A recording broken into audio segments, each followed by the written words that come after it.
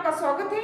मैं प्रिया, आपके साथ। महाराष्ट्र में वोटिंग से दो दिन पहले सीएम एकनाथ शिंदे ने रविवार को कहा कि वो सीएम पद की रेस में नहीं है। एक बातचीत के दौरान उन्होंने कहा कि यह भी तय है कि सीएम महायुति का ही होगा। एक दिन पहले ही महाराष्ट्र के डिप्टी सीएम देवेंद्र फडणवीस ने भी यही बात कही थी।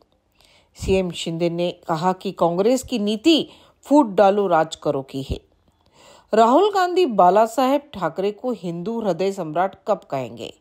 शिंदे ने कहा कि बाला साहेब ठाकरे कहते थे, मैं अपनी पार्टी को कभी भी कांग्रेस नहीं बनने दूँगा। लेकिन उद्धव ठाकरे खुद के स्वार्थ और मुख्यमंत्री बनने के लिए कांग्रेस के साथ चले गए। शिंदे ने पीएम मोदी के एक है तो सेफ़ है नारे का भी समर्थन किया। महाराष्ट्र की सभी दो सौ अठासी विधानसभा सीटों के लिए सिंगल फ़ेज़ में 20 नवंबर वोटिंग होगी। 23 नवंबर को इसका रिज़ल्ट होएगा। इसी के साथ बने रहिए एशिया इंडिया के साथ। धन्यवाद।